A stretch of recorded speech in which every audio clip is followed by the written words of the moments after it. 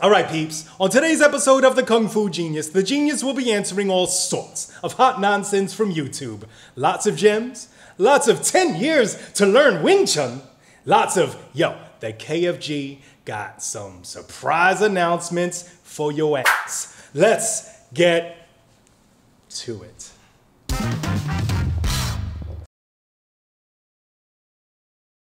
And every day, I practice martial arts. Yo, Dre, how you doing, man? I'm doing really good, Sifu. You doing really yeah, I had, a, I had the best week ever. the best week ever. Why? Because I just beat you up for an hour. Beat Is that that why? So one of the few, because you're like a busy man now. You, you like the, after this podcast blew up. You know, we have almost ten thousand subscribers, right? That means- Almost, yeah, that's pretty cool. Uh, which is huge, man. I Yeah. mean, just like worldwide. Like we're Yeah. taking over, all Yeah. right? And we got Uh, it in a month. Yeah, and now, yeah, it took us two years to get such a piddly audience, right? Uh-huh. uh you are like super busy now. It's like you're the you're the main attraction, man. Like I said, anytime I go somewhere where people like know the podcast, they're always like, "Yo, where's Dre?" And I'm like, "Dude, I'm the kung fu genius. Don't you care about me?" Everyone's like, "No, no, no. Where's Dre?" So Right. now you're like Mr. Busy. You can only make it to City Wing Chun once a week, which Once is why. It's we no longer record on Mondays. We record on Saturdays, and to get your own training in, I now have to get here at the crack of dawn At to teach dawn, you. yeah. Then do the podcast and then teach the rest of my Saturday schedule. I wake up 5:30 every morning during the week, Mm-hmm. and now I wake up 5:30 on a Saturday. I know, but that's to get your training in. It's, it's, it's, Yeah. it has to get done. That's right. That's Yeah. right. So here we are. Another episode. Last week we had a Phil Collins inspired episode because we found out that our producer and sound engineer really cool. Mikey Dean loves Phil Yeah. Collins and loves Genesis. I'm glad we were able to do that because Yes. it, it was it was it was like he needed that. He needed that. Yeah. Yes. Yeah. We- like like he needs a whole. We saw he the was a little depressed about Yeah. some randomness. Yeah. Yeah. And we did that, and he was his spirits were lifted automatically. Absolutely. At the end, he was so happy. Yes, All yes. right. So uh, here we are, ready to answer another round of questions. I By have the way, I- question. I, before we do that, I got a couple couple interesting What things coming down the pipe. First of all, uh, it looks like we're going to have two interview episodes coming up. We have not done interview episodes in a bit. Uh, the main reason I want to do interview episodes so I don't have to look at you for the whole episode. I know. This all right, gets It's get rid of you. Well, it's fights. It goes both ways. no, it doesn't go both ways. All right. It's a two way street. There are no episodes where it's This just you a and not me. street. All right, it's a one way street. No, all can't right? be one way street. So um, I have procured Why do you two. think I, I get Dre's for a day? I get him. Yo, can you do Dre's for a day? yeah, yeah, yeah. So I don't have to look at you. That's why. No, it's no, the same thing. It's the same thing. So it's you the same have, thing. I don't. Have, so you don't. Have, yeah. So anyway, I procured two Bruce Lee themed guests. And Ooh. two people that I've never talked to before, so not the usual suspects. All right, Mm. although I would love to get John Little back on. Uh, I uh, and and also Matt Polly. Um, I I'm going to have Steve Kerridge. Okay. So Steve Kerridge is a well, very difficult to describe. Steve Kerridge, uh, he's an author and he's written a number of books about Bruce Lee. In Yeah. my opinion, he's written some of the best books. He's one of the Bruce. OGs uh, uh, uh, on the Bruce Lee writing. Uh, no, I wouldn't say he's an OG. I would say he's a, his books are more recent, but his books are extremely thorough. Like so, he Mm-hmm. Goes, okay. he, he'll go into, for example, like the uh, the making of like like Big Boss or something like that, Mm-hmm. and he'll go through all the stories and details and background stories and everything like in a way that is. You don't really see that in a lot of other books because obviously a lot of other books about Bruce Lee, if they're not a biography, they're usually focused on uh, his philosophy or his martial art of Jeet Kune Do. But there's this whole, you know, two year period where um, Bruce Lee became this huge star in Hong Kong. I mean, you have to imagine it's kind of like middle end 71 and then middle of mm-hmm. 73 he dies. So the whole thing of mm. him making you know big boss and fists of fury and way of the dragon and starting game of death and and doing enter the dragon this is this is like basically within a two year less than two year window right? So him becoming that a star short is a very short time. time, but most of the books that are written about Bruce Lee obviously focus, for good reason, on Jeet Kune Do, his martial art, all that kind of stuff. But I'm also extremely fascinated with this very short, but one, perhaps the most important period of Bruce Lee's life in terms of obviously world recognition. And Steve Kerridge has written a number of books where he just he's e- even mentioned some things that you know have been pet projects of mine, like the Lao Tai Chun story and stuff like that. And and his books are really high quality. He he always uses the best version pictures and prints of everything he can get. So if you haven't seen any of uh, Steve Kerridge's books, I would highly recommend ordering them. They're a top quality. Everything he does is is really right. top notch. So uh, we're gonna have Steve Kerridge on, and I'm Yes. going to have a chance to talk to him about this this time period. I'm, I really want to focus on. Uh, that time period of Bruce Lee making films and like behind the scenes stuff and stories and things like that. So really excited about that. When that. are you looking at this? Um, we're, we're, I think we're going to record it. We're going to record it next week, but I don't know when it's going to come out because, as you know, sometimes we will record episodes in advance. Depends on our travel schedule. So uh, we're going to record it next week. So by the time this episode comes out, we would have actually already recorded it. but I don't I don't know when that one will will hit. And then uh, after that, the other one I'm going to get is Dr. James Bishop, who Oh. just uh, finished a new book called "Who Wrote the Tao." okay, I thought you was gonna say Dr. Eisen though. Dr. Eisen? No, I would love to have Dr. Eisen Yeah. on the podcast. All right. All right. I would love to have him on the podcast. At arm's length. Eh, No, Yeah. no, no. Right here. Right. All right. Right where I can use my Yeah. wing chun, not Oh, far away. All right. No, not too far. Uh, if he's too far away, I have to beat him with Yeah, a long with a pole, long right? pole him. So, um, yeah, no. So, uh, Dr. James Bishop uh, just wrote this book about who wrote the Tao of Jeet Kune Do, Mm. because uh, I think what a lot of people uh, should realize, but maybe don't, is that the book Tao of Jeet Kune Do um, is not really written by Bruce Lee. Um, it, it came out in 1975, Right. and it was essentially It's a the year I was collection. born. Oh, Wow. that's yeah, disastrous year. it, it, it was a collection of his notes. And when it was originally sold in 1975, it was promoted as if the book was completely written by Bruce Lee and illustrated by Bruce Lee.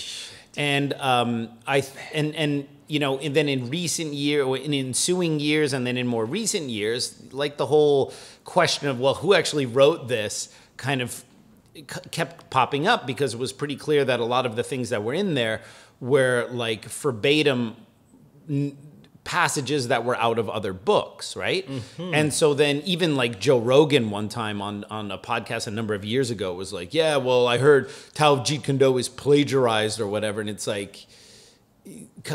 Calm down, Mr. Bro. All right, uh, the the Tao Jeet Kune Do, all right? which by the way is a kind of a silly name, um, because how, how so? because Tao Mm-hmm. is a bad spelling of it means the way, Okay. but it's a Mandarin spelling. All right, and actually in Mandarin it should be pronounced Tao Tao with a D. All right, but Mm. normally when it's written or anglicized, they will write it with a T. Okay. but it means way. All right, what does Jeet Kune Do mean? Oh, so you're basically saying way twice. You're basically saying way twice and in two different dialects. Yo. because Tao is kind of a bastardization of Mandarin, The and way Do. Do is uh, the way in Cantonese. Okay. All right, some people think he copied it from like Taekwondo, and they're like, oh, or or like Bushido, and they're like, oh, it's Jap. No, it's not. Actually, that same character yeah. Is pronounced Do in Cantonese and also in Japanese. All right, the same character. But that doesn't mean that he took it from the Japanese. That is literally the Cantonese pronunciation. And the you know, I and me being such a Bruce Lee nerd, I didn't realize that until I was uh, in Hong Kong. Yeah. And I saw they had the book Tao of Jeet Kune Do for sale in a Chinese bookstore, and then I saw the Chinese title, uh-huh. and I was like, "Oh, that's ridiculous," because You're it looking was at it like, what the? In in uh, of course the word order is different in uh, Cantonese and Chinese, but it was ji kun do ji do, which is like of the way, ji kun do of the way, right? Uh-huh. Because you have to reverse it, right? But it's the same do twice, and I'm like, oh, that's clunky. The Tao Yeah. Uh-huh. of Jeet Kune Do might as well be the Do of Jeet Kune Do. Okay. All right, which is kind of ridiculous. All right, The but but the the, whole thing about that book is that that was that was uh, contrary to Dragon the Bruce Lee story. Mm. Uh, that was not uh, published during Bruce Lee's lifetime. That was published in 1975. So we're looking at two years after he died. And I think it makes sense because you know uh, Linda Lee uh, basically sold Bruce's half of Concord Productions to Raymond Chow. Now, So this she is his she- top selling book. Or yeah, but let, let me explain like what what happened. Like uh, Linda sold Bruce Lee's half of Concord Productions to Raymond Chow, Mm, and basically, from what I understood, forfeited any royalties from any of Bruce Lee's Chinese films, right? And so.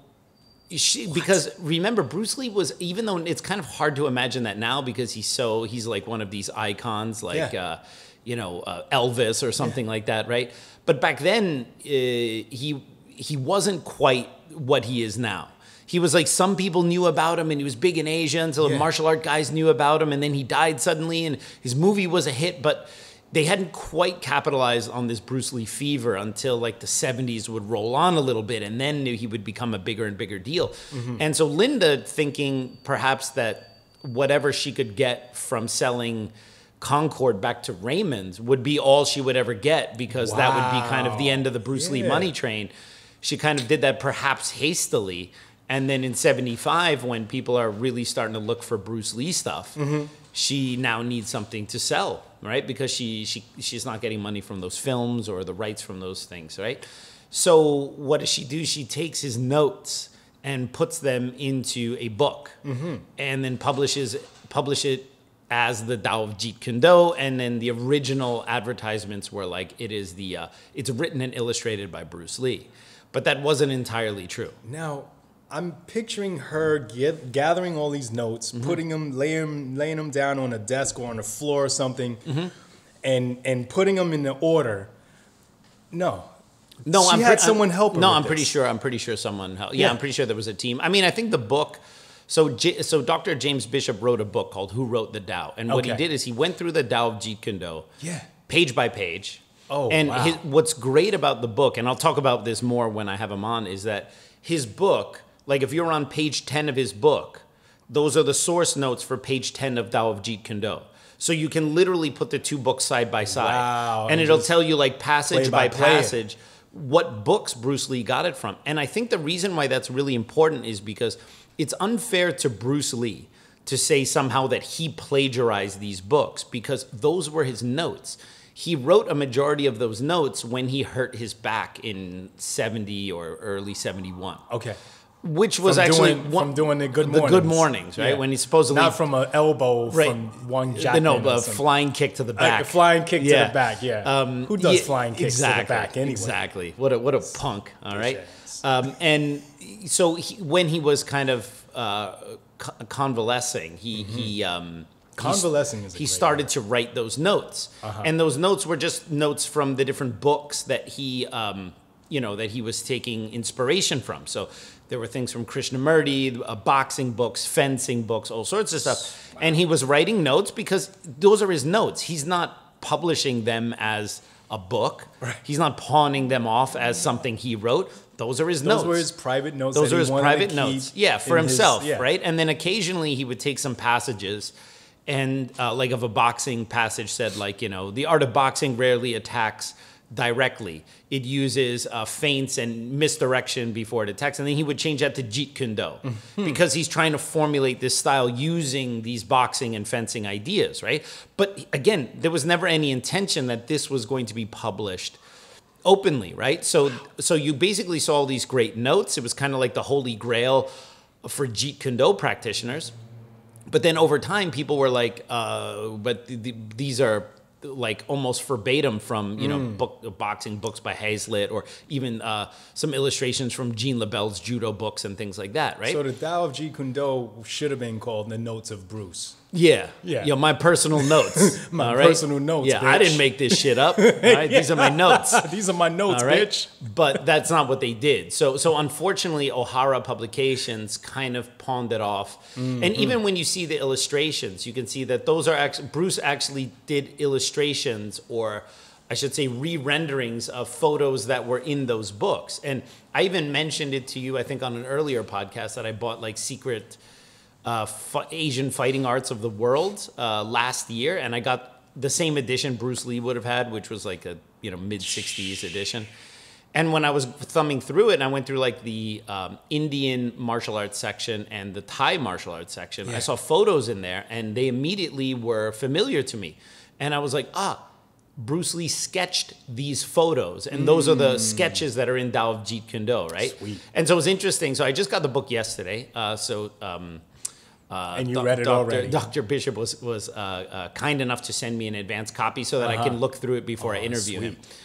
And uh, yeah, I mean, I was tearing through that thing last night. And then even when I went to bed, I was like about to go to sleep, and Oh, I'm just like, and I wake up and I'm like, and I just like, no, I have to, I have to like keep looking because what's interesting about it is uh, it doesn't have any of Bruce Lee's original words in there. It has the original sources where those notes came from. So now, for the first time, those uh, those authors and those sources can get credit, and you can see what's great about it, it's not to say, oh, Bruce Lee didn't write this stuff. We know he didn't write it. They're his notes. It's to say, where did Bruce Lee get this? Where what are the books and the sources that inspired Bruce Lee to create his Wow. Jeet Kune Do concept? So for the so now you can actually know this is from this book, and then you start to see all of his uh, um, influences on the uh, from the philosoph- philosophical side, like Zen and. D.T. Suzuki and then Krishnamurti and um, Alan Watts and all this stuff. You kind of- but you can now see passage by passage where this came from Krishnamurti, this came from here, this came from here, right? So um, it's really fascinating. So I'm geeking This is out. a must-have. I'm geeking. Yeah, if you're a Bruce Lee Jeet Kune Do aficionado, I think you. Uh, I rarely endorse. Like there are a few books that I think are really. Obviously, John Little's books are fantastic because. He did a much better job, in my opinion, of putting together Bruce's notes and categorizing them into the different books and like the letters of the dragon and all that stuff. Yeah. Like John Little's work for the Lee Estate um, is kind of the the giant that everyone is kind of rest like sitting on the shoulders of, of John Little's work, right? Mm-hmm. And then since then, you know, there've been some, you know, like I like really like the Matt Polly biography, which is just Yeah, very kind of has like everything in it. Yeah. Um, and then, but I think All the dirt. you know, and obviously uh, Steve Kerridge's books, which are more about the the entertainment side of what Bruce Lee did and the movie stuff, right? But in terms of like the the Jeet Kune, like if you're a Jeet Kune Do practitioner, all right, uh, or you have a mild interest in Bruce Lee's uh, thought process, like you have to have this book. You have to have a copy of the Tao of Jeet Kune Do and this book, so you see them side by side. Um, I, I can't really recommend it enough. I, I was, I was uh, you know, he contacted me. I had never heard of him before last week, even though John, obviously he, he knew John Little, and John Little speaks very highly of him, and but I had never heard of him. I don't know all the, the Bruce Lee guys. And uh, he sent me the, he said he would send me the book, and, and he did, and I was like, oh wow. And the beautiful thing about the book is there's even a passage in there from the late Big Sean. Goodness gracious, yeah, that's at the amazing. at the time that uh, Big Sean passed, apparently he was working on some project, I guess, with with uh, Dr. Bishop, some Yeah. Jeet Kune Do related project. Um, I don't know whether it was this one or for some upcoming one. And ac- according to the book, I think they're going to continue to do a f- some similar projects with some of Bruce Lee's other writings and where the sources of it, the various quotes that always get. Um, you know, attributed to Bruce or whatever, right? um, so, uh, but yeah, there's great. like this little blurb there with uh, Big Sean Madigan where he talks about like you know what he thinks the uh, significance of the Tao of Jeet Kune Do is, and it's great. It was just so nice to see him, and it was weird. Mm. It kind of sent me because I uh, he told me that he was in the book, and then when I got the book and I went home and I started reading it, Uh-huh. you know, and I saw Big Sean or whatever, kind of like brought all those feelings back a little bit. So like I you know I texted John, his son, and like Mm-hmm. yeah, last night was kind of like one of those miss uh, you know Big Sean nights, you know. Yeah. Um, but I'm super excited about this book, so I'm super excited about interviewing him. So And when um, will that take place? Soon, soon. So I just don't know when it's going to come No out. But date like, yet. Um, as soon as I can tear through that book, which Okay. at this rate will, which will be by tomorrow, Okay. right. I, uh, uh, I I will get him. We, I'll, you know, we'll do. He's in Texas, so it'll be through Okay. Zoom anyway. So, uh, and then we'll have that. So we'll have a couple really awesome Bruce Lee uh, themed interviews coming up. Sweet and then I knuckles. spent 20 minutes talking about that before we got to the first question. Dre, if you want a day off, just ask. Stop trying to beat around the bush here. Like, God, so when is it then? I mean, When is- just, just get when any can I days. get- yeah. You know what I mean? Am I going to be replaced? Yeah. Yes. So anyway, Uh, he is going to be replaced. so maniacal. You know he's been gunning for your Yeah, job yeah, the whole time, right? You're going to have to learn sound It's a soon. deviant. Hey, Kung Fu Genius listeners, are you a fan of Wing Chun Kung Fu? Well, if you listen to me, I assume you are. I got great news for KFG fans. Right now, you can get an all access one month free trial subscription to Wing Chun Illustrated magazine. Yes, I said free. Go to WCINewsstand.com and register in the upper right hand corner. Fill out your email and password and use the code KFG Trial to get your free trial to all the issues from 2011 to the current issue. That's right, all the issues, even the one with this cool guy on the cover. That's me for those of you listening to us on audio. My Kung Fu Genius column is also in all the new issues as if you needed another reason to get this awesome magazine. Go get your free trial subscription today. For all that information, check out the description below. And now back to me. All right, so uh, what questions you got for me, man? First off, we got Luis Herrera. Luis Herrera. Yeah. All right, All right. Are you ready for Luis I am ready. Okay, let me let me position reposition myself to Okay, read. so you can read. You got to get in your reading back. position. My back is Yeah, all old man. jacked. Yeah. Hi, Sifu Alex. Love the podcast. You guys are awesome. Thank you. I have two questions that I'm hoping make it to the podcast to have them answered. First question is with all of the Wing Chun out there, no matter the lineage, you always seem to see just chain punches. You never really see the Wing Chun guys throwing hooks or uppercuts like the lifting punch in WT. Mm-hmm. Great. Should we stop with that Why question? or are you going to ask me all the. Okay. All right. You want me to answer that before we go to question two? Or you want to give me all the questions and then I'll do one by one? All right. Give me the other questions. Go ahead. Also, it seems to me like some Sifus structure their students' membership within their associations so as to keep them loyal. For years, and taking more than a decade to learn the entire system, including the weapons. Honestly, at times, I felt like Leung Ting had a similar structure. Having trained in Kung Fu over 25 years, I know the importance of solid basics and fundamentals, but I've also seen some students with the ability to pick up quick. Has breaking away from the IWTA allowed you to have the freedom to have students excel at their own pace? Thank you. Much respect to you. You are one of the few instructor, instructors that I admire that teaches very well in fine detail and is very astute and can expl- uh, astute and can explaining things clearly. All right. All right. Great. That's a fantastic question. Some great I agree. compliments in there, right? Uh, I yes. agree. Okay. So uh, for the first one, okay, why do we mostly see Wing Chun people doing chain punches and not doing other things like hooks and uppercuts or the lifting punch? Well, um, in certain lines of Wing Chun, it's a little bit con- controversial as to whether Wing Chun has a hook punch or not. In the Leung Ting system, we have a hook punch. It's in the Buji form. It's in the third form, and it's pretty contextual in terms of when we use it. So we don't just like stand there and willy nilly throw a hook at someone, right? I do. Uh, you do, yeah, but that's because you, you're about you do about sixty percent what I teach you, and the rest the rest you watch uh, Master Two on uh, Instagram and follow him, right? Uh, so What? so, uh, of course, we have a, but the idea is when we use the hook punch in Buji, it's essentially a straight punch from the side. Mm-hmm. Okay. So if I've, you know, pulled my partner at a 90 degree angle, right? And I apologize for those of uh, you who listen to us on audio, right? But if I pull my partner and I'm at a 90 degree perpendicular angle to them and my hand is here mm-hmm. and their face is there. Well, in this position, it makes no sense for me to bring my hand back to the center to give them a mm. punch or a palm. That would actually take too much time. So from this position, the most efficient way to punch in a straight line is to do the hook punch right to their throat. Yes. So we do the hook punch as essentially a straight punch from the side. To the throat. Okay. If my hand happens to be on the outside while I'm turning and spinning, and that is the most direct line to hit, well, then that makes sense. Yeah. But we're not going to stand in front of someone and then launch in with a hook punch only to get countered by by a straight or a cross, right? Okay. So, and again, I think part of the problem is because people still conflate um, why are you doing Wing Chun and how are you training it and what are you training it for? Okay. If your idea is to spar back and forth using a kickboxing frame, all right, so we're going back and forth.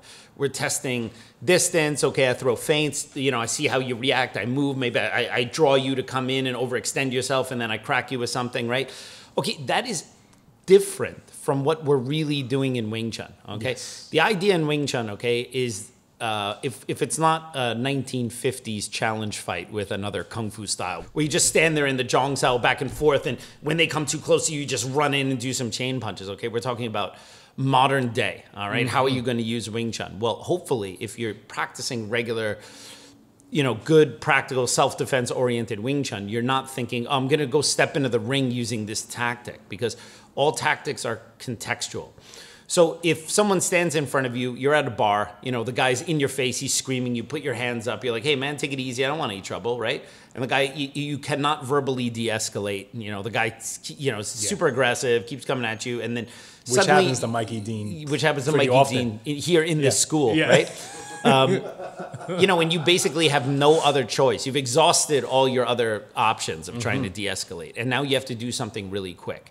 The guy standing in front of you, he's very close, he's angry, you're there, and you know he's about to move, he's about to take a shot. You need to go in there and do something really quick. So we're talking about, we're not talking about bridging a huge gap. We're talking about the guys in your. This is like in New York. Someone's in your face, right? Guys in the subway, eh, like right there, whatever. And you boom. If you're gonna do something, it has to be a quick action. Yeah. We're not talking about okay, bro. All right, let's go out back. Let's go back. Ooh, man, good jab. Ooh, uh, watch footwork here. Oh, you try to shoot. Like right. this is a kickboxing frame, okay? And yes, that type of thing can happen on the street, but usually it happens when you're street fighting. And when you're street fighting, you signed up for that. I don't Yeah. mean you literally signed up for it. I mean, if Yeah. you're going back and forth with someone, all right, like this, all right, you you probably decided that you Yo, want to catch do that. me outside. Right. Now there of course there are different circumstances. You're getting cornered and the guy's moving, you're trying to keep distance or whatever. But there are even tactics from a self-defense frame that are not about going back and forth and t- you know checking them with the jab and then you then you get your hook in there or whatever, Okay. right? And I think the problem is that when people say sparring, it's always assumed kickboxing uh, uh, format. All right, touch gloves, go back and forth. Okay, and look, you can do that, uh, but that's not really what Wing Chun is designed for. Wing Chun is designed for. Okay, I'm right here, you're standing right there. It's very close self defense, right?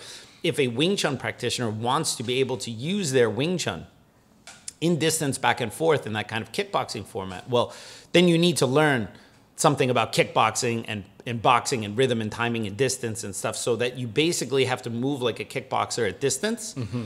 And then when you get close, you can become, you can go more and more into your Wing Chun stuff, right? Which is to a certain degree what Bruce Lee did using fencing for distance and getting in close and doing some Wing Chun, although that's a overly simplified trope. Um, and you know, and again, it's easy to say, okay, Wing Chun should be like this and not like this. When someone's standing in front of you, you do what you got to do, right? Uh, this is ju- these are just simple theories and simple ideas.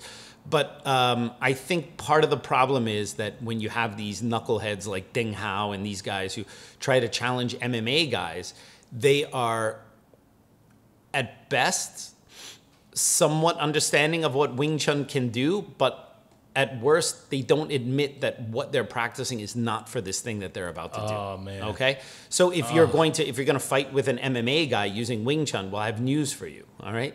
You need to learn some MMA. Uh-huh. all right? You need to learn some kickboxing. You need to learn some wrestling, both stand up, takedowns, maybe some jujitsu on the ground, right? And some MMA style striking. And when you have that as a base, you can slip your Wing Chun in because what you're doing is not what Wing Chun is designed for. It's kind of back and forth um, contest between two people. When you're trying to protect yourself, the situation that you end up being in is different from touch gloves, let's go back and forth. All right. And the problem is that it's not saying that that's, I'm not one of the guys that say, oh, MMA is not real because they're rules. No. If you're locked in an MMA cage, all right, No, you- and there's you're in a another dude in front of you, that's a very real situation, Yeah. dude. All right, that's very real. Uh-huh. So I'm not one of those traditional martial art guys who's like, you know, uh, well, there's there been no real Wing Chun person who went into MMA and stuff like that. It's also MMA is mixed martial arts. You have to have a blend of different styles. You have to have some, some striking skills, some wrestling skills, some jujitsu skills, and these things have to kind of come together, right? There's no one single style that can completely dominate uh, for a long period of time in MMA anymore, right? But for some reason, traditional martial arts, which for for a large part now have, have been pretty integrated into MMA. I mean, not to beat a dead horse, but you see Wing Chun ideas from Matt Brown, from Anderson Silva. You know, like some fighters use some ideas that are very very Wing Chun like mixed in with the other stuff. But there's no one no one there's no boxer that goes Right. in there and just boxes and beats everyone. and there's no wrestler anymore that just goes in there, maybe at the lower levels or maybe for a while, but they eventually get figured out. In order to Yeah. to compete at a high level, you have to mix what you're doing. But then people look at a traditional martial art like Wing Chun and go, "Yeah, how come no there's no Wing Chun people going in MMA? How come there's no just karate guy going in MMA?" Well, All back right. in the day in UFC, that was like the format, and then they had to Yeah, but- but- adjust everything. Yeah, of course, of course. I mean that that Yeah. we saw the results of Yeah. that, right? And the the thing is that to be successful in mixed martial arts, you have to mix your martial arts. all right? Like Lyoto Machida was like Uh-huh. a karate fighter who was also a black belt in jiu-jitsu and Mm-hmm. trained, you know, kickboxing and, you know, came from the Shuto camp with Anderson Silva and stuff like that. So it's not like he went in there having just a purely traditional karate background and then went in there and did his thing. So if if the other traditional martial arts like karate or um, you know other uh, uh, forms where you see bits and pieces from traditional martial arts, none of them are going in there as a pure version of representation of those arts. No one says anything, but like Wing Chun, it's like how come there's no Wing Chun guy who goes in there and MMA? How, they, dude, there's no pure jujitsu guy anymore. The, the the pure jujitsu guys maybe last at the lower levels, but at some point they're gonna have to learn striking. Gordon Ryan is the best jujitsu guy in the world. He seems to be toying with the idea of going into MMA, and guess what? He's training striking. And he's the best jujitsu guy in the world. No one can touch him in jujitsu, okay? Because now, oh, now he's got to do MMA. Yeah, how come he doesn't just go in there doing his jujitsu? Because he'll probably win his first few fights, and then people will start figuring it out. Yeah. If they can keep him off of them from taking him down, they're going to figure him out with other stuff, right? So it's why it's called mixed martial arts, right? So, um, and so I give part of the blame to the critics for that, but I also give a bigger part of the blame to the Wing Chun practitioners who don't understand what I just spent the last five minutes explaining to you. because they see that Wing Chun is like effective in certain contexts All right. and they see that as being universal. They go in every single context you're going to be able to fight like this and defeat an enemy like this.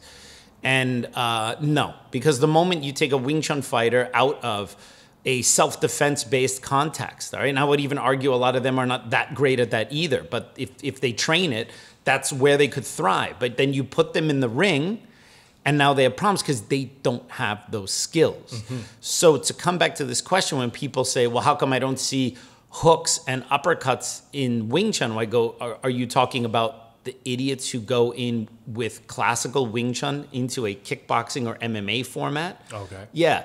They probably don't really have, they might have those techniques in their Wing Chun school, but maybe those are low percentage techniques. And when they're in there, they don't have enough experience to even make their chain punches work, let alone the rarer punches in Wing Chun. all right? right. The bread and butter is chain punches. Uh, how are they going to make these rare things work when they're in a situation where they're a fish out of water, right? Like, like if if you are, you, you know, when Royce Gracie was on top, beating everyone in UFC, Right. Okay? If you just took that Royce Gracie who was beating everyone in UFC, put boxing gloves on him, and put him in the ring with a mid level boxer of his weight class, he would have gotten his ass kicked. and then would the takeaway have been, man, jiu jitsu sucks? Oh man. Yeah, the great Royce Gracie who beat all these big dudes, you know, uh-huh. when there were no rules. Yeah, but look, when you put him in a boxing ring, what happens? What a loser, right? That's why all the internet people say, don't, don't do shit and don't practice. Yeah. And never got their ass kicked and don't understand how very real it is that, you know, you have to respect people who train hard and have good skills. And you cannot just say because you do XYZ style that you somehow are imbued with skills and abilities that the normal person doesn't have. You are as good as you've trained and no better. You're not a you're not a scrap better than what you've trained. And whatever forum you decide to fight in, well, hey, you better be good at that. All right. So the uh, uh, the the Wing Chun there, there was a there was a, a a bad showing for some of Yip Man's students when they went to Singapore in I think 1967 1968 they wanted to do some full contact fighting because uh, at that time full contact contests were still illegal in Hong Kong which is also part of the reason why the only way you, these guys tested each other's skills at were these rooftop fights in the 50s and 60s. Because people say, well, how come you know they didn't go to kung fu tournaments? Because they, they weren't allowed to have kung fu tournaments in those days. The Hong Kong government assumed that you know all Chinese martial arts had something to do with uh, triads or illegal activity, so they weren't going to sponsor that. It wasn't until Tang Sang and the Hong Kong Chinese Martial Art Association came in and they started to change the attitudes and the mindset of the Hong Kong citizens that uh, fighting contests started to become uh, legal. And then you had uh, full contact kung fu and you had Thai boxing and all sorts of stuff in Hong Kong. But that was really in the 70s. So, um, so unlike some of the other martial arts that had a chance to kind of start testing their metal in the ring, even if it was just point karate, at least they were going back and forth. Thai boxing obviously was already competing, and by the time the kung fu guys got into this culture of competition, they were kind of like the Johnny come latelys, right? And so uh, that's the reason why you know they didn't have this culture. So in the late '60s, they sent some Wing Chun students to Singapore because there it was legal to do a fighting contest. Yeah. But that was also the early days of kung fu fighting contests, and the equipment that they had to wear was uh, like a um, almost like a fencing helmet, you know, like completely enclosed. And it had these like crazy, I think it was actually a kendo helmet, like for the Yeah. Japanese sword fighting. And they had to wear that in these huge bulky chest protectors and these like like they were basically in these padded suits. And the Wing Chun delegation from Hong Kong, the first time they put on those padded suits and that helmet was in Singapore when they were going to go for the fighting contest, right? Yeah. Whereas the locals had already maybe had a few contests where they were used to that equipment, and because they knew the equipment, they trained with it. Um, it's the same thing like when we do our big technician tests or student level nine tests here. Right. Usually, in the weeks leading up to it, I tell the students uh, you need to do all your conditioning and sparring training with the full gear. All right. I mean, you do the training with the gear anyway, but like if you're going to hit the heavy bag, do it with the elbow pads and shin pads and mouth guard and everything in because if you just put that on on the night when you suit up, like you're used to wearing your gloves and your mouth guard in training, right? And you do your sparring, maybe the elbow pads, right? But unless we do kick stuff, maybe you don't put on your shin pads or maybe you don't put on your knee pads. And now you have everything on. Yeah. And you've only done that a couple times with everything, all right? Like at, that- at that level, right? Then you're gonna feel like a little off, right? For the senior students, it's not a big deal because they train with that equipment all the time, right? But the juniors, they're maybe not quite as used to it because they're just starting. So they should be hitting the heavy back with all the equipment on, including the mouthpiece, because you have to get acclimated to that stuff, right?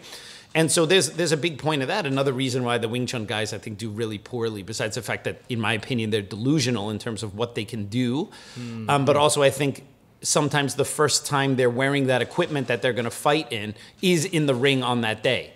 And you can't. You have to be. You have to be comfortable in that equipment, right? If you're going to train in boxing gloves, yeah, guys. train in bigger boxing gloves. So Yip Man's guys went over there and they got beat up, all right, because they, they weren't didn't think they were gonna have to fight with a kendo helmet on, right? Right. And so Shit's they, they were very yeah on their disor- You can imagine you get punched a little sideways, that thing turns, and you're just not used to it, right? Man. And then later, uh, Yip Man was he was very upset about that. So then they they trained a second delegation of fighters. And uh, I think they also went to Singapore, but maybe the rules had changed. But then the second delegation went and they did much better because the second time they went, they were prepared. And so uh, Tang Sang had made a, a boxing ring in his backyard, and then they started actually training in the boxing ring with gloves and equipment and everything on. And then the, the, the group that they sent the second time were just a bunch of bangers Love tongue sound. right? And and so the second time Yeah. they went there, they did much better because Oh, they didn't man. just send some people who had never really fought before and then put a bunch of weird equipment on them, right? So um, so yeah, so I think to come back to the question again. The reason why you don't see the hooks and uppercuts if you're talking about sport contest fighting is because most Wing Chun people don't even have experience in that because that's not really what we train. So they're only going to do the thing that they rely the most on, which is chain punches, right? Um, you're not going to see these other techniques like the lifting punch and the hooking punch and variations of elbows and stuff like that because they're not used to it. They haven't fought in that kind of arena. They uh, have no experience in contests. So how are they going to do any of the low percentage stuff if they don't even have if they even haven't pressure tested the high percentage stuff, right? And also you have to realize that for self-defense, the strategy in self-defense is different than in sport fighting, okay? Um, in in sport fighting, you have to be f- super conditioned, and I'm not saying you shouldn't be in good shape if you have to defend yourself. You absolutely do. Right. But you have to be at a much much higher level if you're going to go and fight for three rounds, even, or you know, forget five round, ten round, whatever, Uh-huh. or or MMA rounds, five minutes, three rounds, or whatever, right? Just three three minute rounds. I mean, the conditioning you need to have to do three three minute rounds. I think most Wing Chun people would be shocked at the level of cardio and anaerobic conditioning you need to have to be able to not gas out after one minute, right?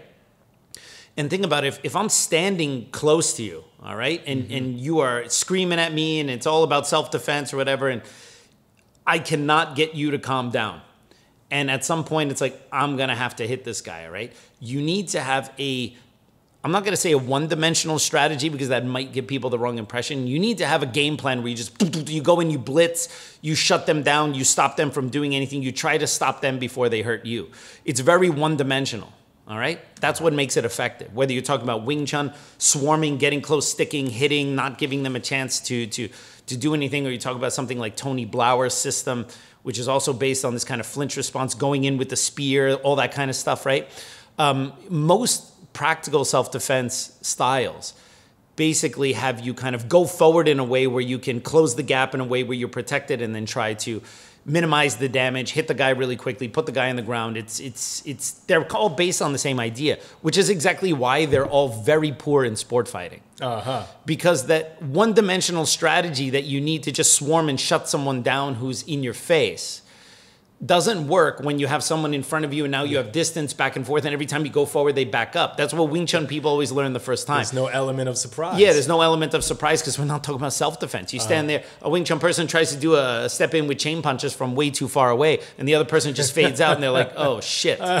All right? Yeah. And then they're waiting for that other person to come with a super overly committed attack that they can then do their defense, and the other guy doesn't. He just paws with jabs, Yeah. and he's very like, you know, timid, and then he and this throws a Wing Chun fighter off Oh, because what you have trained all right is not this situation. Now if you want to be able to fight in that situation then you need to learn a little bit about kickboxing or like what we call here at city wing chun street boxing where you, you can do stuff at distance and learn how to manage that and feints and covers and all that kind of stuff and then figure out at the right moment either you draw him in or you you set up little traps where you can then go forward and do your wing chun. Otherwise no you're, you're a sitting duck trying to stand squared to someone doing chain punches from a football field away. It's of course it's not going to work right?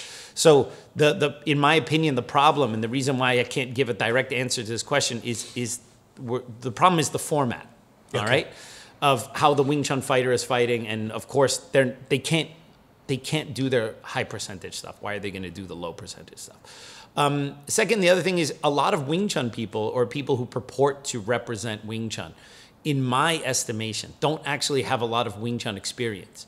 And what do you learn in the first you know year or so of wing chun training? Okay well you know with a simple shutdown pak sau lap sau close the gap you know, basic defense, defend your head, defend low, step in, close the gap, try to get inside that zone where the person's punches are not as powerful. Like if you stay right at the end range, you're gonna eat that punch. So you're either all the way out or you're all the way in.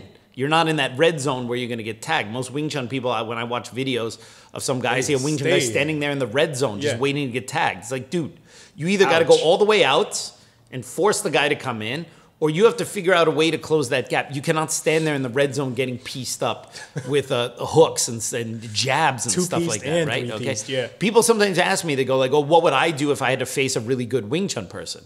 And I, I say the same thing that my late friend Big Sean Madigan said. I would just jab his face off. Right. They're like, "Oh, you wouldn't do Wing Chun?" We're like, "No, why?"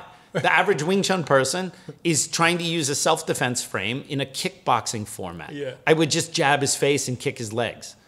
All right, non Wing Chun style. Mm-hmm. And I would do that as a Wing Chun Sifu. Why? Because I use Wing Chun if someone comes up to me and attacks me and I need to defend myself. If I'm going back and forth with someone, oh, I don't need Wing Chun for that. This is not self defense. This is uh-huh. not Wing Chun.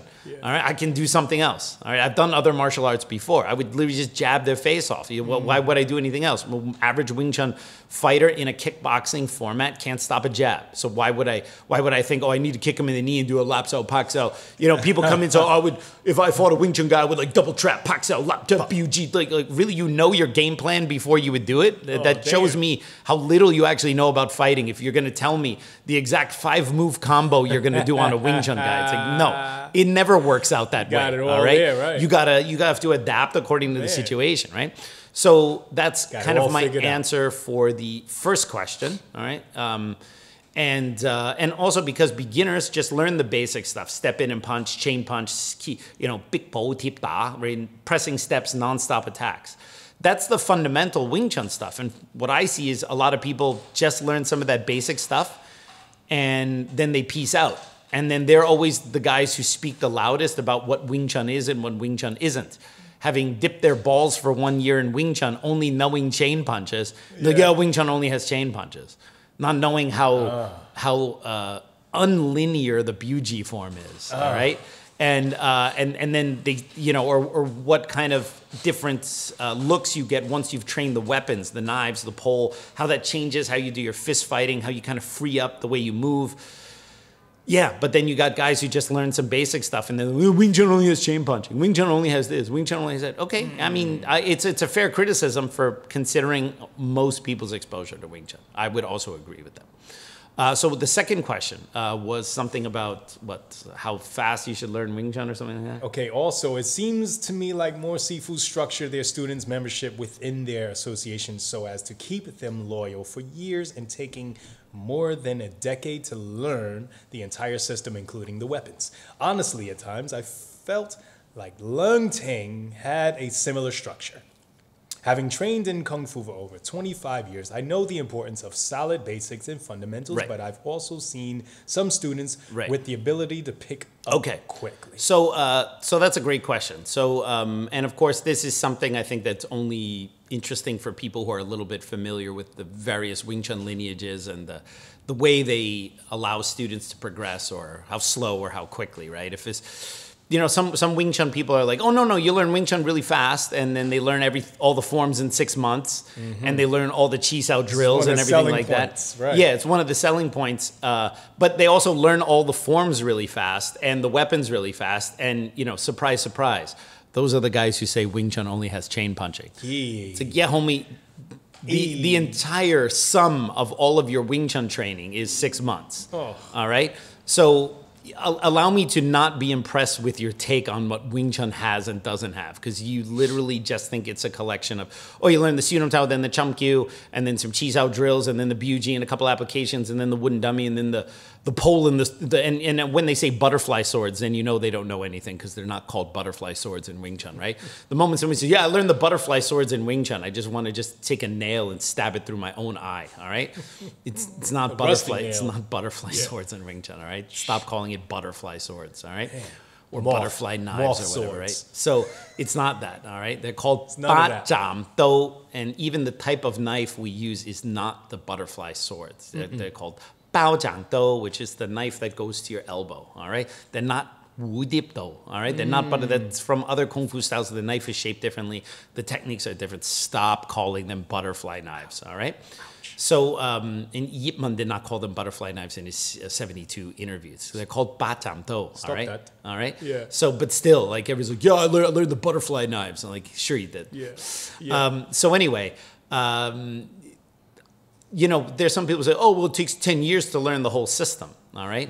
As if somehow, uh, one, you have to learn the entire system in order to defend yourself. So the thing about you can learn Wing Chun quickly to be able to defend yourself doesn't mean you learn the entire system. Because I'm going to tell you, if you don't know how to fight by the time you learn the knives using Wing Chun, the knives aren't going to do it for No, you. bro. Okay? So the problem is that it's a it's a conflation of arguments that gets thrown into the same soup.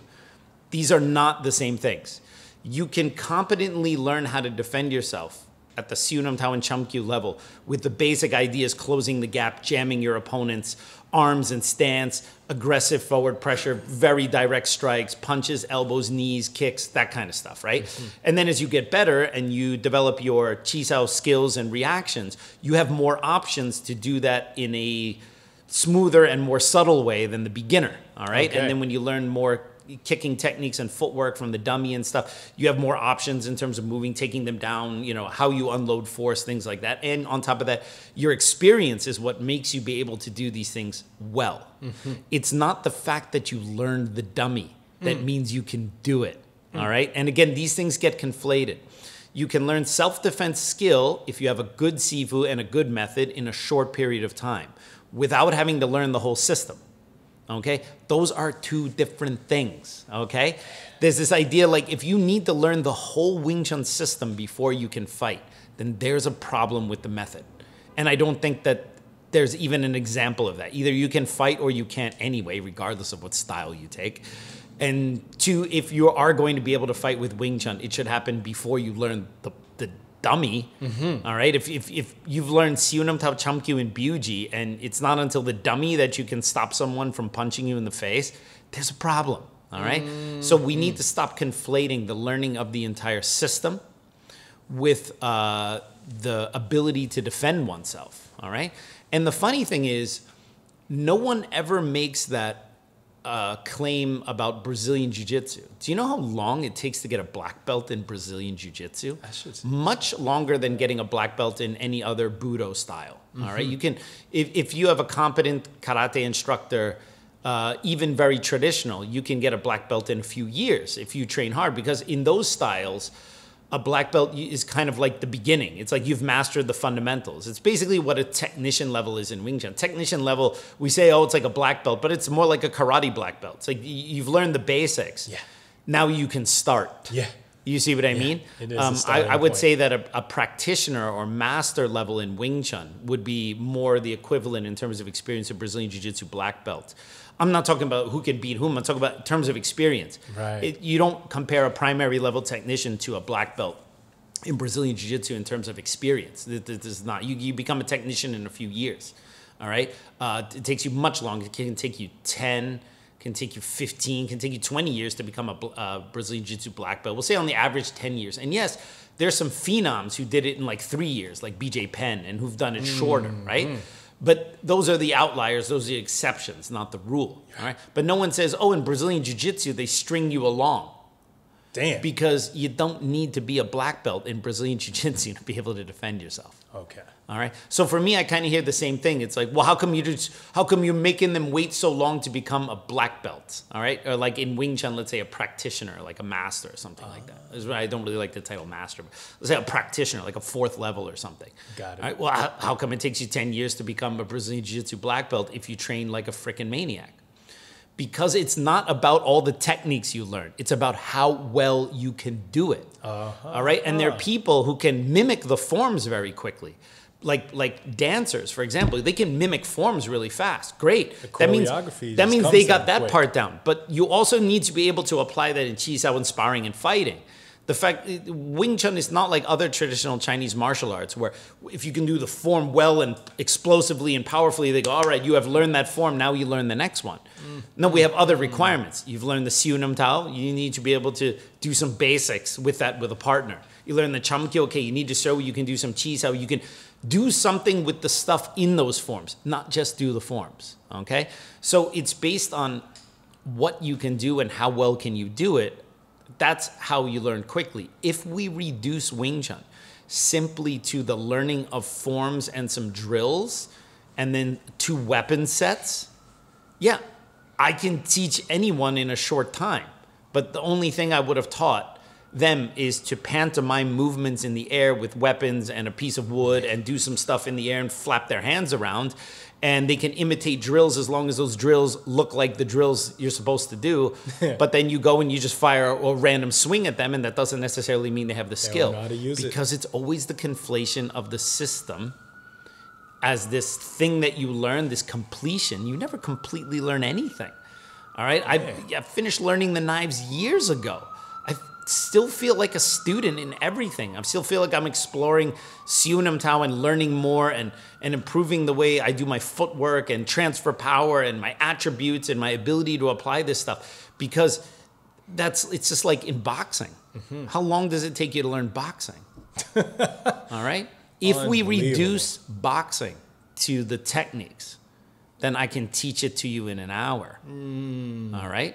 Jab, cross, hook, uppercut, all right, off the lead, off the rear, basic footwork, all right, feints, movement, combinations, defense, all right. Those are the techniques of boxing. Yeah. I can teach. I could. You could go through the whole syllabus in an hour. So now, are you a boxer after one hour because you've seen everything? All right. no. boxer. No. Why does a high level boxer like Floyd Mayweather, even if he goes and you fight someone now with all of his experience, why does he still train? Why does he still have a coach? Why does he still have people looking at him and like going, "Hey, you should do more like this. You should do more like that." All right? Because bro, he already le- he already learned the whole system of boxing, bro. Mm. All right? Because people think that you learn when you the the the day you learn the eighth set of the Bacham Do, okay, you're done. Are you kidding me? All right? Not at all. All right? So there's this conflation with learning to defend yourself and being able to fight and learning the whole system. These are two different things. Then there's this conflation of because you learned it, does that mean you can actually do it? Like by boxing analogy, right?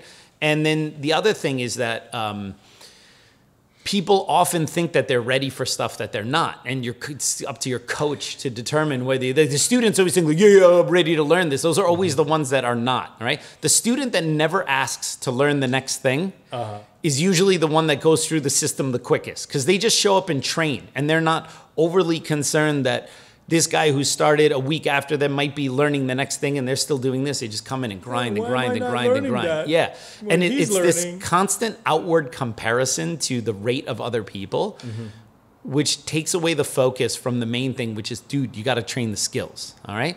Now, um, to come to the specific question about Learning Wing Chun and whether they were stringing people along or whatever, right?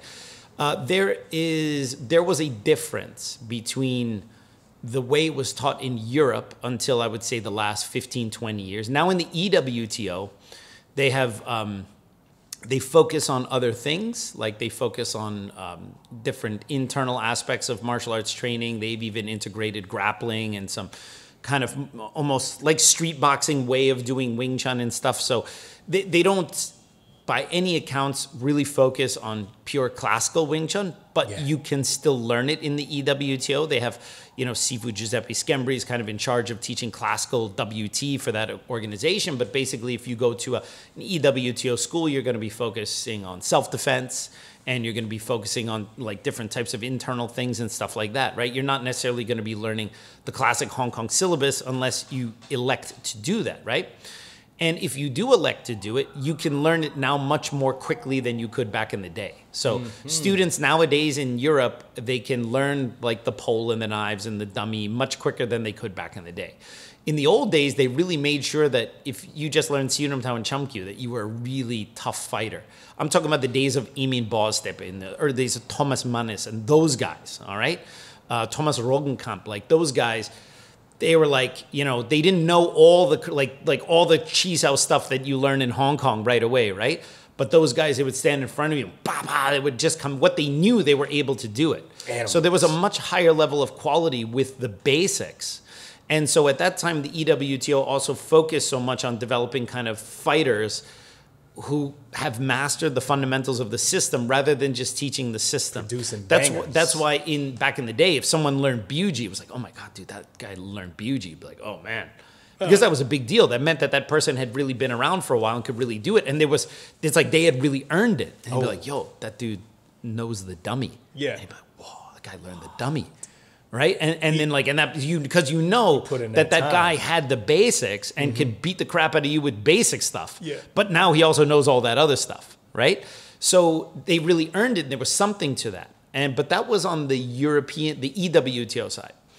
On the Hong Kong side, it wasn't like that. On the Hong Kong side, you definitely needed to go through your tests. You need to be, show that you could do it in sparring or Gosa or whatever. I mean, you had to be scrappy, but they didn't have such a high technical standard like they did in Europe. Oh, interesting. So that's why you could learn the system more quickly in Hong Kong, um, and then you would just take more time to practice it and polish it. All right. Um, and so it was a slightly different way of doing it, but still the product was that you could actually really use it. It wasn't just about getting this. The, the, the learning Wing Chun is not a race to the eighth set of Bacham Do. All right. All right. And if you begin Wing Chun, uh, with this idea of like, when am I going to learn the knives? When am I going to finish learning the knives? You you just don't do Wing Chun. Do something else. Okay? Or just teach yourself that stuff on YouTube. It's all on YouTube and then be done with it. But you don't need to go to an instructor if all you want is the soup to nuts Wing Chun program mm-hmm. in, in six months. Because if, why do you need a teacher to actually teach you by hand and develop skills? If you just basically want to pantomime movements with your hands, all right? You don't need a teacher for that. So Europe used to take a really long time to learn it, and then nowadays it's like a lot easier to learn those things. And in Hong Kong, it, it was always basically up to the rate of the student. So this idea that they necessarily strung you along is usually how people felt here in the U.S. because the the foreign association sometimes had more rules about how quickly you could teach that stuff, whereas in Okay. Europe, Sifu did things his way, right? Mm-hmm. In Hong Kong, Sifu thing- th- things his way. But in all the other countries that represented WT, you had all these middlemen. And the middlemen would be like, well, actually, there should be a two year waiting period between like this level and this level, and you're only allowed to learn this at this mm-hmm. level. So mm-hmm. these kind of like So that's the way they learned it. Yeah, artificial waiting times was something m- more that the international associations had to deal with, right? And yeah, so like to kind of finish his his question there, um, since I became independent, yeah, I mean, students can learn at their own rate. You know, mm-hmm. so a student who trains regularly and and trains hard, or maybe does additional private lessons or whatever, can learn all of the stuff much more quickly. But they still have to be able to do it. It's not just like, oh, well, I no longer have Sifu Leung Ting as my overlord, so uh, Baat Jaam Do for everybody, all right? Okay. Oh, you've been here for two months and you can barely stand or punch the wall bag. You want to learn knives? Yeah. No. All right. You, you got to earn it. All right. And there's always like this, this, you're always going to have people who can learn the system very quickly because they're intuitive, they're intelligent, they work hard. And you're going to have people who take longer. And then you're always going to have people who complain about the rate of which you teach it because they feel entitled to learn something more quickly because they go on YouTube and see everyone else doing it. And those are usually the people who did not earn it. All right. And uh, everything, uh, it shouldn't take you 10 years to learn the whole Wing Chun system, right? But you should do Wing Chun for much longer than 10 years if you want to get good at it. Mm-hmm. all right. You think because you learned the Baat Jaam Do, you now have everything, you've mastered it, get out of here. All right. Look at people like Sifu David Peterson. When did Sifu David Peterson finish learning the Baat Jaam Do from his Sifu Wong Shun Leung? Mm-hmm. I would assume probably in the 80s, maybe the 90s. I would assume in the 80s though. Okay? Why is he still doing Wing Chun? Hmm. He, he already learned it. Why, why hasn't he gone on to the next martial art? Because even if a martial art has a simple construction like Wing Chun, that's the art to be able to apply these simple ideas flexibly in different situations and to get better at them. And as you get older, your martial art evolves because you can't rely on the attributes of your youth. You will never see these things if you don't practice honestly. Mm-hmm. If you just think Wing Chun's about learning some forms, okay, well then you- you're not gonna really, you're not really gonna. It's like if you tried to learn jujitsu just by learning the techniques. You just learn armbar. I do here. I grab here. Sit legs in. Zoom. Go like this. Okay, great. Triangle choke here. Change of posture. Move. Pull the head. Go like you- like you could learn it paint by numbers. You could learn an entire blue belt syllabus Okay. as simple techniques, like almost learning it like you're learning forms. And now you roll with someone who's been doing jujitsu for six months and ah. you can't do any of it. So, so did you really learn those movements? No. All right. Can't It- apply the it. only thing that matters is what can you do, and that was one thing I always appreciated in Hong Kong. Uh, some They teach you how to Westerners, some no, out the s- gate. no, no, no. Some Westerners will say like, uh, uh, "What level are you?" or "What did you learn?" The Hong Kong guys always ask, "What can you do?" Because those are two different questions. You might be learning the wooden dummy, but you're still learning it and you're kind of green. You can't use it yet. But you might be able to actually apply your Siu Nim Tau and Chum Kiu level stuff. And the Biu Jee, you're still kind of working on it. Mm-hmm. So like, oh, I'm learning wooden dummy, but I, I feel comfortable up to the Chum Kiu stuff in actual practice. All right. Oh, I'm starting to learn the pole, but I feel comfortable up to Biu Jee in terms of practice, but the, my, my dummy is still not quite there yet. You, you can you can have different uh, grade levels for the different things you're doing. It's not equal. You, everything doesn't go up like this. You know, it's like you have a sketch, and then you fill in some color. But the stuff you learn first, that's all full of colors and details. The stuff you're learning now is still black and white, and the stuff you haven't learned yet isn't even a, an outline yet. You have to see things on a spectrum and not just go, I learned this. This thing I just learned in Biu Jee last week is not on equal footing with the thing I've been doing for the last six years. You have to understand these are these are all different. So these people always want um, people ask these questions that on the surface are simple general questions. But actually the, they're multifaceted. They're, there's a lot of different context. And um, i cannot give a general answer to specific, questions. Specific all right? The, the, the- it's, it's too it's too simple otherwise. Um, wow i spent most of the time just on that one. By the way i think we have one patreon question at the top At the top. Mm-hmm. Hey, Kung Fu Genius listeners, if you're looking for an easy way to support this podcast, please consider joining the Kung Fu Genius Patreon. You can support for as little as $5 a month and get access to episodes a few days early. Higher levels of support get additional goodies, exclusive content, and even your name in the description. The baller level of support will give you the opportunity to be a Dre for a day and give me a rest from this guy over here. A link for the Kung Fu Genius Patreon page is in the description below. You can also support us by subscribing to the Kung Fu Genius on YouTube, liking this video, and sharing it on your social media platforms. When you subscribe on YouTube, don't forget to hit that bell for notifications so you will know as soon as a new episode or a premiere is available for you to watch. For those of us who listen to us on audio, it's a huge help if you don't just rate the podcast, but also write a review wherever you listen to the Kung Fu Genius, such as Apple or Google Podcasts. I really appreciate it. And now back to me. Talking about a uh, Topher Mowry question. Yeah, I'm talking about Topher, the original, Patreon. the- not just the original Patreon, but he was the original, not Dre Dre. Dreisen. Yeah, Dreisen made his first appearance on the episode where He was uh, the- he was Dre for a day. He was the original Dre for the day. I, it wasn't Nick. Oh, you might be right. Yeah. Oh, Nick, how did I 'cause Nick forget was Nick? pressing it. Yeah, He was like, "Yo, I, yo, I want to be on that shit." that's right. But you know what's so funny? What? Um, Not not to say any of our not not to call out any kind of racism. Yeah. All right. But in that first season, Yeah. all right, so a lot of people didn't know who we are. I mean, most people still don't know who we are. But the, the audience Uh-huh. um, of KFG, they were still kind of like new. Like if they didn't know me from dudes, Uh-huh. if they did know me, they, they didn't know you yet. All right, they knew me and Sean, or maybe they knew me from Howcast or whatever, Right. right? And uh, we had that one random episode Right. very early on in the season where we just swapped Nick, who's who's who's very obviously much darker in complexion than you. All very, right, very. um, and we just I just called him Dre the whole episode, Yes. and I didn't say anything.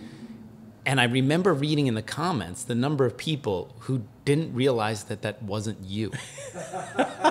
but they were kind of afraid to say something, right? Okay. Because they were like, all right, Dre's some kind of black guy. He Yeah. might be a light skinned black guy, but Uh-huh. this other guy's a black guy.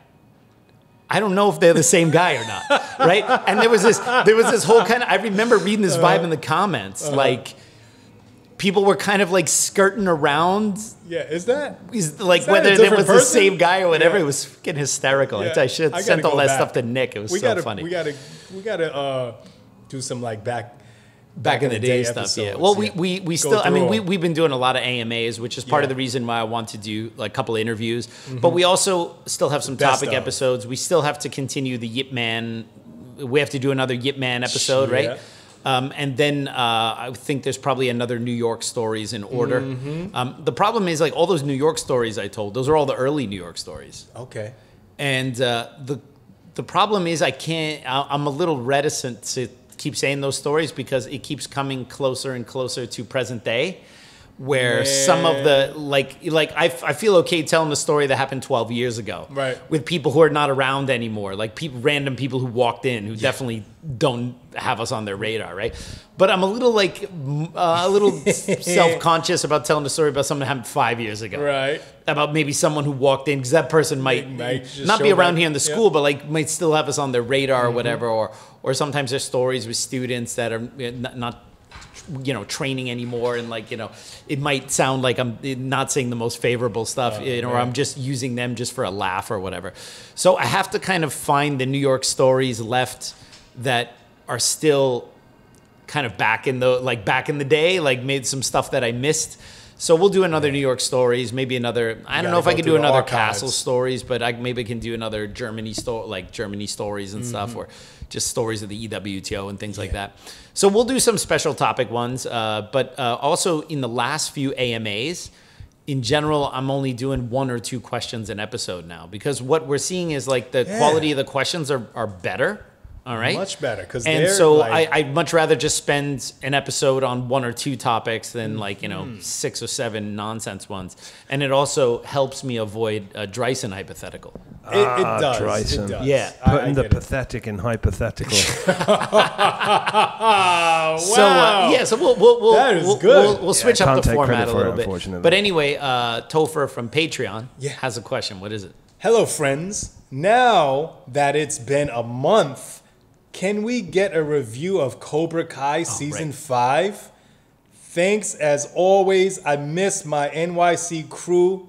Love Florida man. Florida man, yes. Love Florida man. Yeah, that's a great idea. That's another topic episode we could do, Mm-hmm. but it would have to be a spoilers episode. So I couldn't put that in a regular podcast because the moment I say, "Hey guys, spoilers," anyone who has not seen Cobra Kai is not going to listen to the rest of that podcast. So I think we have to do it as a separate standalone thing. The other thing we need to do, which we haven't done in a while, and I know our boys in the comments always send me this stuff. We need to do another Beardy episode. Because True. Beardy, Beardy is still pumping out He's all this kind of bullshit, fake Bruce there. Lee stuff. Spewing it.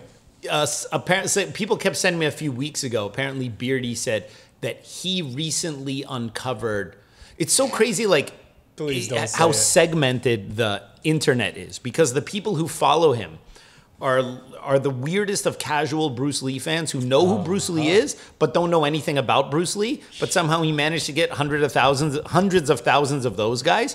But all like the legitimate, like the people that actually have real conversations about Bruce Lee those are not the people that he talks about or he's on. I mean, he can make up that Dan Inosanto was a Kempo grandmaster or whatever. Yeah. So apparently, do you remember we did um, uh, the different Bruce Lee uh, audio clips, like the Ted Thomas interview? Right. So apparently, Beardy played the Ted Thomas interview and then claimed in his video that he was the one who uncovered it. Like first, first of all, first of all, uh, the Ted Thomas thing, all right, has been around for so long. Yeah. All right. And on top of that, we also did an episode on it back, I think, in season one. Okay. All right. And now he puts it out there like because he he tells his audience, and they're all like these weird. The Beardy's fans are like these weird lap dogs, From right? under rocks. And and they're like, oh, he recently uncovered it. Like they they they you see in the comments like, how does he get access to this stuff? It's like. Do you not know how to ah. use ah. YouTube, the, Yeah. the site that you're literally on right now? Oh no. You could type in Bruce Lee interview and you would see that it was on there years and years and years ago, right? Okay. But there, it's like the Venn diagram Wow. that would explain Beardy's followers would have to just be this like confluence of like all of these these factors that would silo them from outside information and then somehow come to him. All right, it's bizarre.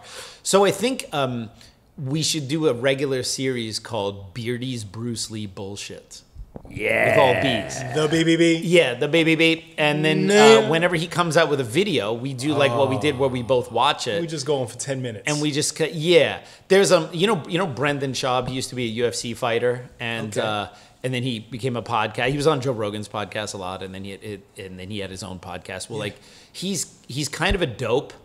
And there's like a whole Reddit page which is about like just making fun of Brendan Schaub. Oh, man. And there's a uh, YouTube channel, uh, Raccoon Tweeties. Every Right. week he does a thing called 10 Minutes of Schaub. Oh. Where it's like they just they just play like clips of Brendan Schaub from like his various podcasts, just like because he just makes stuff up and he's, just kind of he's just a he's meathead, awesome right? in that way. Yeah, but but he's not aware of it. Oh, and man. He, and and he also like copies a lot of stuff that other people say and like he uses them as his own talking points, right? Um, and this guy just does like ten minutes of Schaub, and it's just him listening to stuff uh, Brendan Schaub says and just like making fun of it, and it's hysterical. Yeah. So I think we could do like a Beardy's Bruce Lee bullshit as Uh-huh. a ten minute thing. Where it's just ten minutes because you can't watch that stuff for more than that. Your brain is gonna rot, right? Okay. So, um, so anyway, so maybe we can do like a short episode where I do like a, my, a Cobra Kai review. Mm-hmm. Yeah. Cobra Kai season five because I, I liked it. There's some people It's Wouldn't we have to go through season one, two, three, and four as well, or no? No, that stuff's old. Everyone's seen it. It's old. Yeah, just talk about season five. it's the Season most recent the one, right? Yeah. And it's funny. There's some people who don't like Cobra Kai, and and because they expect it, I don't know, to be super serious, and it's like. Have you seen the original Karate Kid films? Yeah. Okay. All right. Yeah, they were like well shot and like they were kind of serious within themselves, but there's a there's an amount of camp to like the bully trope in Southern California, right? And it's like, and it's also like, yes, part of it is written for kids, and and part of it is nostalgia, and and uh, if people don't see it, then um, then you cannot explain anything to them. That's fine. If you don't see it, it's like, well, I'm. The last thing I'm gonna do is waste any of my effort trying to tell you why Cobra Kai is awesome, Mm-hmm. because if you don't see it, then that's the end of the conversation for me. I mean, like you know, like I said, you know, if, if you have an average lifespan, you live four about four thousand weeks. All right? Okay. Your whole life is 4,000 weeks. Man. All right. But it's Still a lot of weeks. it's a lot of weeks, but here's the thing you don't have 4,000 weeks from now. 4,000 weeks is your whole life. Oh, dang. You understand? now I got like 27. right. Yeah, you got 27 weeks left. All right. So, so the thing is, you know, when, when you when you think about something like that, right, Mm-hmm. you have like 4,000 weeks. I think is about 76 years. From the moment you're born, you have you have you you have 4,000 weeks. That's your whole life. It makes you think about it a little differently. Like how much time you have, how much time are you're going to waste spending, like you know. Uh, you know, and I occasionally get like, you know, sometimes a little amped up. Some people say stuff on the internet, and I'll go back and forth a little bit, and then I remind myself, what the fuck am I Wait, doing? man. Why am I wasting my time on this I'm shit? in week 3060. Right, exactly. Yeah, I don't have that many weeks left. All right. Right. So you have to like you have to kind of frame it that way. And when people like argue about entertainment, like, oh, I like the new Star Wars, I don't like the new Star Wars, I like She Hulk, I don't like the new She Hulk. I like the new She. I like She-Hulk. Me too. Yeah, but I, I- always like She-Hulk. I, I, I like that. I think it's kind of fun. I, I get why some people don't like it. Okay. Like things I can see that I go, yeah, I kind of see it. Like people would expect something different, and it's not what they expect. Uh, I like it. I watch it with my kids, so I think I have a different perspective when I look at it. But I, the thing is, if you can see why someone wouldn't like something, Mm-hmm. And you still like it, but you can go like, yeah, but I can see why you don't like it. Like, dude, I'm Cuban. All right. Yeah. I grew up drinking Malta Goya. Have you ever had Malta Goya? Of course. All right. Of course. If you did not With grow up drinking meals. Malta Goya, right. all right, and you try that as an adult, it's like sweet syrup garbage, all right? I can drink a Malta Goya and go, ah, reminds me of my childhood. Yeah. But I can also drink it and go, I can totally understand why if you never had this growing up and you drank it, it's like sickly sweet. I mean, I don't. I drink maybe two a year. All right, but I can totally see why you would drink it and be like, "Oh my god, didn't this is disgusting. This is disgusting." Right?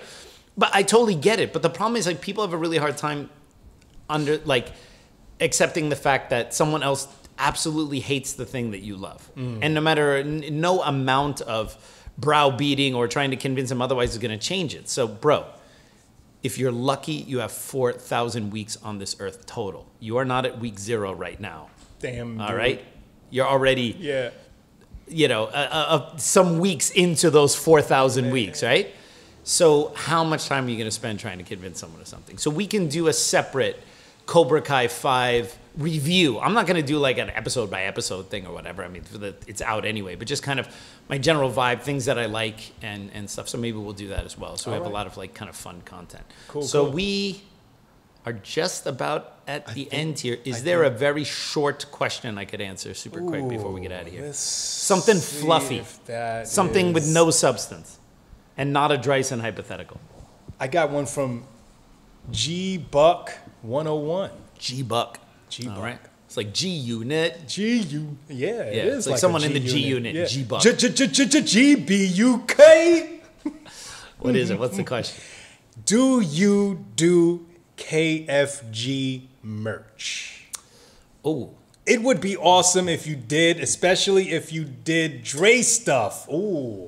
I didn't pre-read this. All right, yeah, you didn't pre-read this. You was are so full of. thinking maybe Dre doing a pose with the Yip Man shadow being cast in the background t-shirt or even a line of shirts with classic Dre quotes on. in the shadow of Yip Man. Wow, they would be awesome.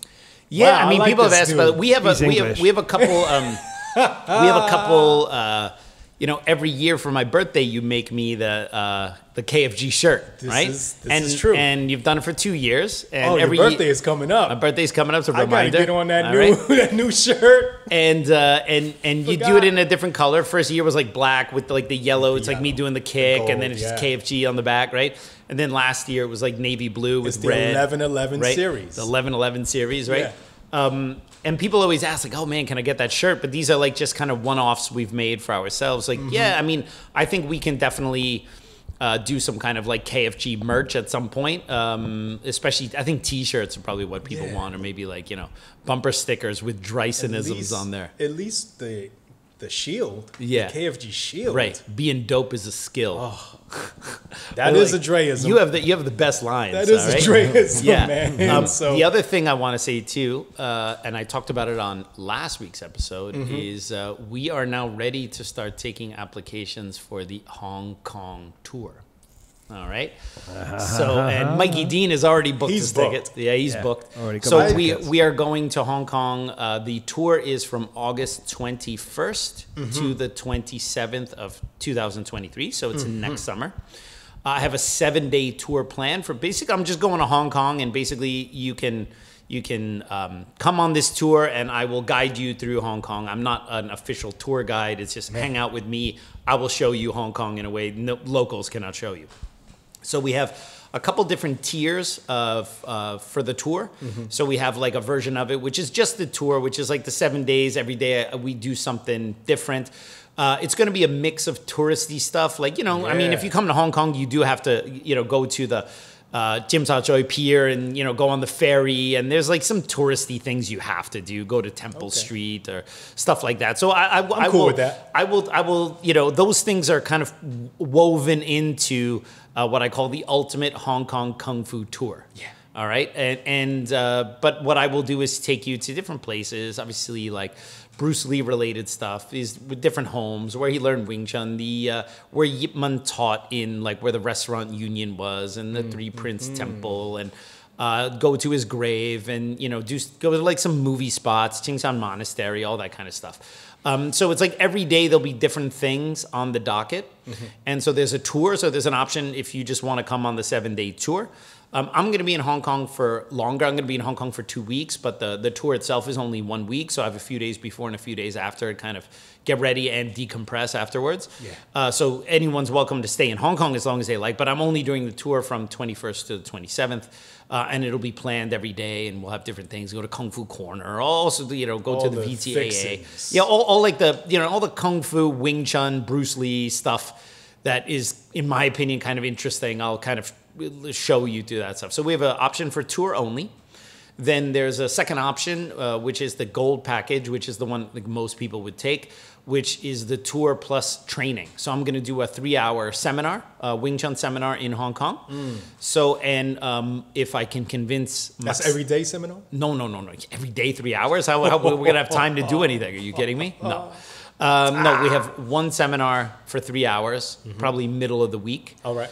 And then um, if I can convince Max Sifu to do like a two-hour seminar, I haven't talked to him yet. So, but I, I, you know, I, I'm he's done it every time we've gone in the past. right, so, uh, right. so if I if I cannot get Max Sifu, I will get I will get another Sifu to teach something so that people can get an idea of what some other martial arts do. Maybe do like a two-hour one. But Max Sifu does the best one. He kind of shows like what are the common characteristics of all Southern martial arts compared to Northern, and he kind of gives this like Yeah. he, he teaches some movements, but it's more about like where's Wing Chun's place in this kind of spectrum of different Mm-hmm. Chinese martial arts. It's fascinating. So I'll have my three-hour seminar. Maybe we can convince Max Sifu to do two hours. If not, like I said, I I, I know many Sifu in Hong Kong. Um, but I have a feeling Max Sifu will do it. Um, and then on top of that, you know, for the seven days, we have the tour and all that stuff. So the second package has like the tour plus the training. Mm-hmm. And then there's a like a platinum package, which includes one private lesson with me. All right. So it's basically you get the tour, you get the seminars, and you get one man. private lesson with me. And the reason why I can't do more is because I'm gonna be doing the tour every day. What if 40 people book? No, no, no. I, no, I put a I put a limit on it. So um, there's actually like like there's actually a limit on how many people can book that because Okay. I I don't have the physical time to teach 10 private lessons while I'm in Hong Kong and do a seven day tour. right? Mm-hmm. Um, it is possible maybe on some of the days after the tour if they stay, but that would have to be booked separately. Okay. And I will probably charge you a lot because I'm also on vacation and I want to enjoy my vacation. True, So there's like there's a the highest tier package which includes one private lesson with me, but it's really that gold package, the one in the middle, that I think uh, makes the most sense for everyone to do. So there should be uh, at the in the description of this episode a link to go to my City WT page, and there's information on there about the tour, way more detail than I just gave,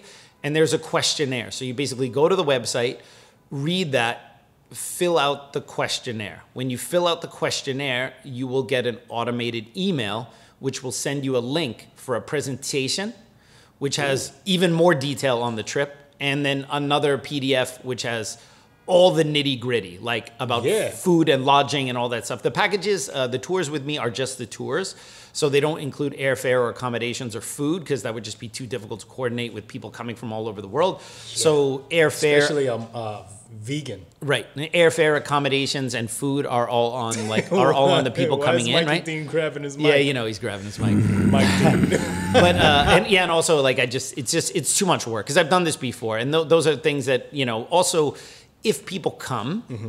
uh, you know, some people might want to stay in an Airbnb with a bunch of other people who are on the tour, and other people might want to stay in a swanky hotel because they want to be more comfortable. So I don't want to say these are the accommodations and they're above some people's means and below what some other people want, right? Mm-hmm. Gotcha. So, uh, but in these these uh, presentations and documents that we send to you after you fill out the form, it has all the information there on like you know everything because I don't want anyone to book a tour who's not sure about something. So I I, I wrote this long ass PDF. It's like Yeah. everything you need to know, like cell phones, mobile phones, like how's that going to work in Hong Kong? What you need to have, food.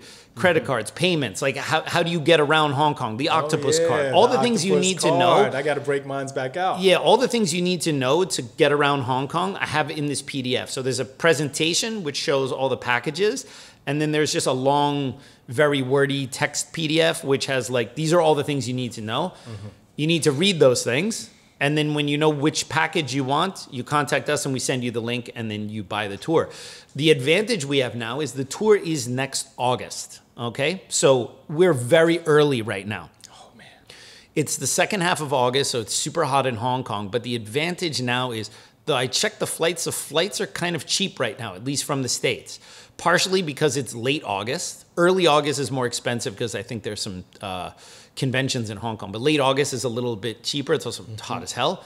And the other reason it's cheap is it's it's almost a year out. I mean, a little bit. It's less than a year out, but it's Yeah. we're still way in advance. So that's the reason why I wanted to get this thing ready, so that if people need to save some money or uh, you know they want to purchase it now and pay off their credit card over six months before they go to Hong Kong, they can do it as soon as possible. We have the dates, we have all the information, and people can buy the tour. So you purchase the tour with me, and then you get your airfare and accommodations on your own. I have stuff in the PDF to tell you where you should get what area you should get your hotel in based on where we're Yeah, meeting so and stuff like that. area, right? Yeah, so it's all um, it's it's all in there. I'm super excited. I tentatively would like to bring 15 people. I think I can bring up to 20. Mm. Um, but uh, more than that, I'm going to have to see if we have more than I don't know. I mean, two people might sign up. I have no idea. Uh, 10, 20 people might sign up. But if I do get more people signing up, then I may hire some local people in Hong Kong to help me with the tour. Okay. Because uh, it would be difficult for me. I don't want to walk with 30 people behind. You know how crowded Hong Kong is, right? I don't want to be walking with 30 people behind me and having to have a bullhorn or something Would like you that. right? hire Chen Chi Man's daughter? Uh, no, she's busy. She's working. No, man, I, she's I, busy. I, uh, She's cool. yeah, she's super cool. No, I have, I have, I have plenty of friends in Hong Kong that I think can help out with something Alright. like this. So, um, yeah. So anyway, so that is the 2023 Ultimate Hong Kong Kung Fu Tour with the Kung Fu Genius, uh, which is from August 21st Sweet. to the 27th next year. And the information, the link to sign up for info is in the description below. Sign up, get that info, read it over. All right. I mean, if you still have questions, you can email our headquarters, but I did my best to be as thorough as possible because I wanted to be absolutely clear because I want everyone to have a good time. Okay. So that's why I said stuff like if you don't like hot weather, you don't like ACs, all right? You have a very restrictive diet. Uh, those might be factors why you might not want to You do this, but I want them to know that in advance. Yeah. You know, there's someone who loves hot weather, Dryzen, I heard. If Dryson comes on this trip, he can come for free just so I can beat his ass. And that's all I gotta say about that. All right, everyone. Well, I hope you enjoyed that episode of the Kung Fu Genius. As always, don't forget to subscribe to the Kung Fu Genius, like this episode, hit that bell for notifications, and if you have any questions you want me to answer on a future episode, go ahead and write those in the comments below. And as always, I'll see you guys next time. Word is I'm a kung fu genius. Technique speaks for me, not lineage. Forget Jet Li, cause I'm the one. Many call me seafood, but to you I'm sea gung. And I produce masters. You surpassed us. Your kung fu stiffer than corpse and caskets. City Wing Chun is the house I built. Violate the gate and your blood gets spilt. Alex Richter, always the victor. I'm on purpose fucking them up for dad jokes. We haven't had dad jokes in a while. I don't have dad jokes in front of me. I don't have that many. Yeah, and also Dre, sit closer to your microphone. Such a pro. Me too, I'm a pro. Yeah, pro what? Lots of gems, lots of 10 years to learn Wing Chun, lots of, yo, the KFG got mad surprises, announcements coming up. Let's. lots of surprises, announcements. Ten Lots years of to get this uh, intro done. Hey, I resent that. You resemble that. All right, let's go. For your ass? For your ass? Oh What's my God. No, that's fine. Just beep that out, Andrew. All right. Yay! Yay! Yay!